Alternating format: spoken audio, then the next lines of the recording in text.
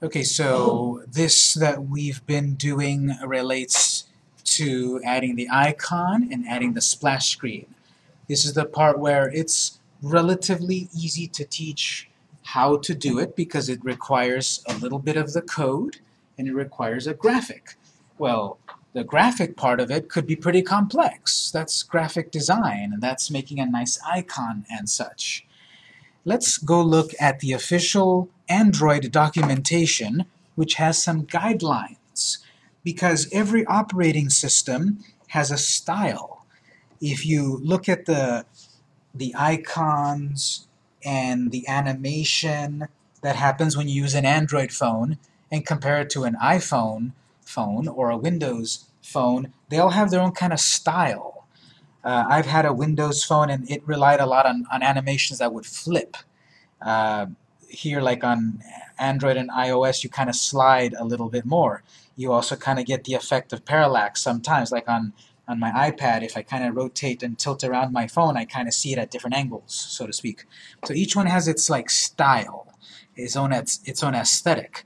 So if we go look at the official documentation for Android, let's go to developer.android.com, developer.android.com. Google, the ones behind Android, will tell you if you're going to design an app for Android, here's some guidelines that might be useful for you when thinking about color choices, icon sizes, fonts, so that it feels like an Android app. What we've done is we've specified one icon to be used on all platforms. We could specify an icon only for Android, only for iOS. We could design an interface that looks the same on all platforms. That's easier for us. Or we could take the extra effort to design an interface, basically a CSS file for iOS, a CSS file for Android, a CSS file for Windows, and then each platform has its own design. We'll address that later. But for the moment, let's go look at the design portal. Design is all about the graphics of your app. Develop is all about the coding of your app. And distribute is about getting it to people. We will look at the distribute app, distribute screen later. And we don't need to deal too much with develop because we're doing it via Cordova. In develop here, this assumes you're doing it in Android Studio. We're doing it via Cordova, so we won't spend much time there. But we will under distribute and design. And here it's the big official manual under design about how to use material design, which is their official name for the style of Android. Um, the pre one of the previous styles, I believe, was called Holo, and it had, if you've used Android for a while, remember when it was all about glows and drop shadows and chrome and shininess and futurism and Tron style.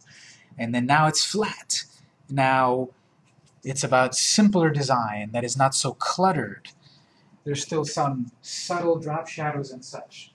And I, and I, have here this older device that is a little bit of a mixture of the old design and the new design.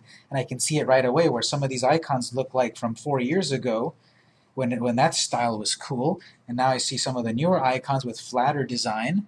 You might see that too.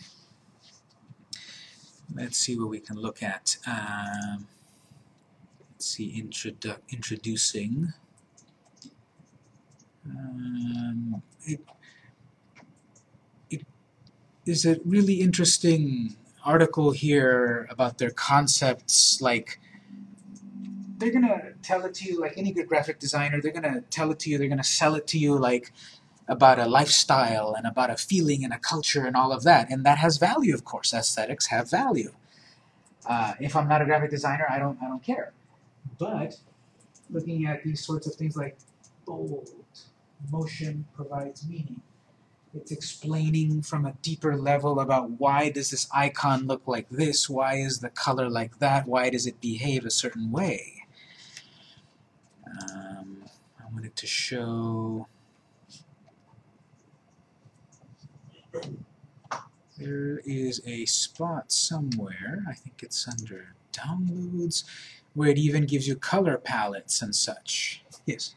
Is there a PDF format that you can download instead of doing it from the, uh, maybe somewhere deep somewhere there's like one PDF that encompasses everything, but I sort of feel that it's strewn all over the place. Yeah.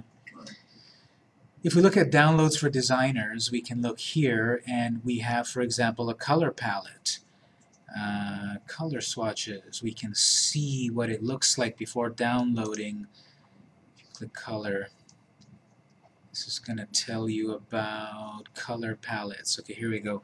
So if you want to see something like this, these are like the official Android colors. If you want a certain shade of a certain color, here it is. Here's its formula to use in the in your app.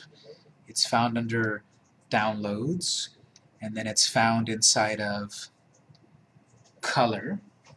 For more info, go read the Color article. So I'm seeing, for example, if I want to use certain colors, these are the official color formulas. I'm free to use any colors I want, of course. We did that. We went into Photoshop, did whatever we wanted. But if I wanted to kind of feel, behave, or have a style of an official Android app, well, I need to maybe hone in on some of these official colors. I want a blue. Well, this blue right here, number 500 will work. I have all of these shades talks about color schemes using material design. Example of color palette using two purple hues from the primary palette and one accent. So they've chosen to use these three colors with some variation in their app. This main color, accent color, main color. These are the deeper concepts of graphic design, which are out of the scope of our class. But if you've taken the IMCP class and other design classes, this might make sense. Let's see, primary color, saying choose a color that should be the most widely used color throughout your project, use a secondary color. We've had accent colors like this. So uh, the primary color stands out there. For other little things, that's the that's the color here. This means it's not turned on, it's gray. This means it's turned on, it's the accent color. This is an action. I can click on that to do something. This is a lot about concept. Here's do, here's don't. Only use the accent color for body text to accent a web link. Don't use the accent color for body text. Well, why? That's their whole aesthetic. That's their whole design it, I've been following the design of the, I, the Android operating system and the iOS operating system and the Windows operating system for a few years. I've seen it grow and change. You've probably seen it yourself every time you wake up overnight and suddenly your phone's been updated because you've got a brand new operating system and a brand new style and all of that. And I remember seeing, like for iOS, uh, you know, love them or hate them, but you know, the iPhone did change things. Um, they're going to celebrate 10 years this year, 10 years of the iPhone, and I remember seeing a lot more gradients and a lot more like rounded shapes and like three-dimensional buttons, and now it's flat. And um, so here, these design choices are there for a reason to kind of everyone be on the same page. If you're going to have a certain color to be a link, don't make everything that color, because then it looks like the whole thing's a link.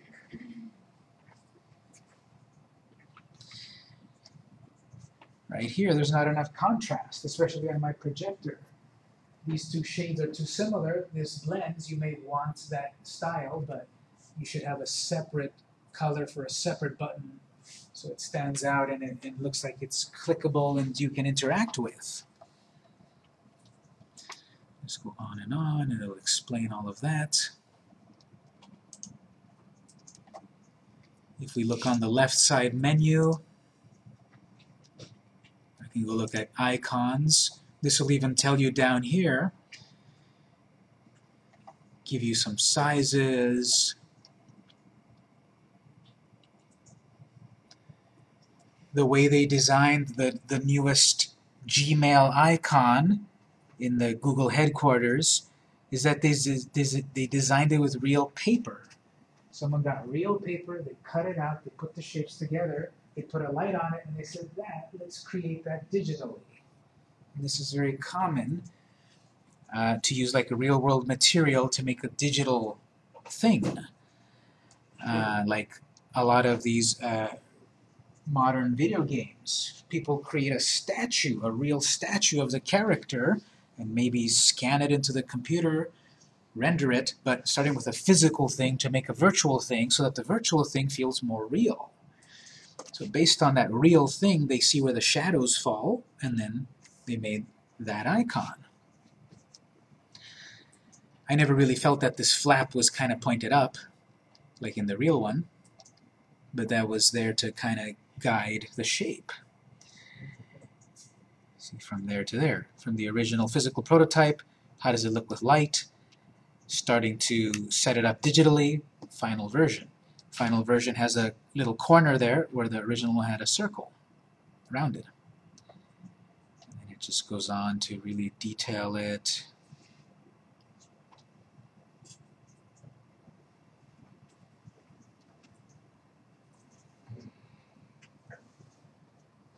Grids and geometry and all of that. I saw a video in here at one point where it kind of animated them creating things. And if you've got an icon, well, you see it, an icon in the design, but what's happening is there's a background element with a shadow and the original element and an overlay. It's all constructed in perspective to achieve the those uh, uh, designs.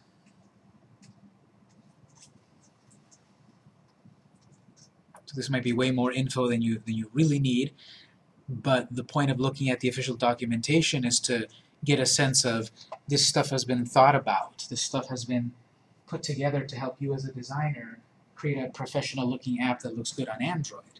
I would recommend for you at some point browse the documentation here. You don't have to you know follow it step by step or at all. That's okay.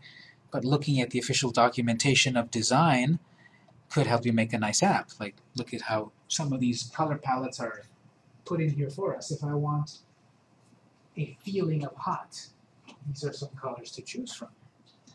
If I want, you know, warm or fresh, whatever fresh means, it's going to be these blues and greens, the blue-gray,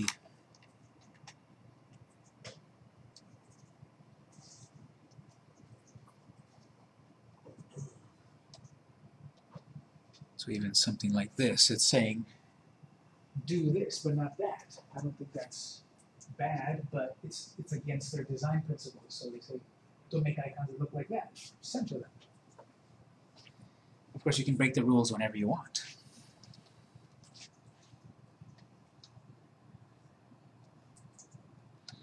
So I just wanted to show you that. And you can get something like that also at developer.apple.com at developer.windows.com.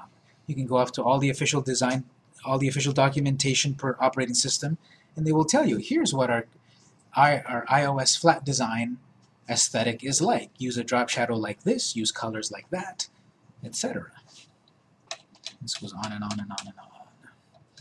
It even talks about the icon shapes.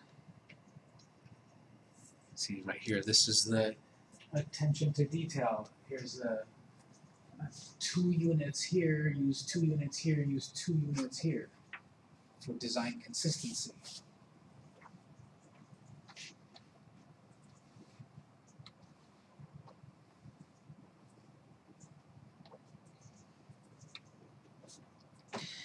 So um, we're going to wrap up the main lecture at this point.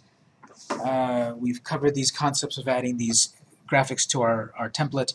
Uh, when we come back next time on Tuesday, we're going to then start to uh, work with uh, the actual app. We're going to start to get back into HTML, CSS, and JavaScript.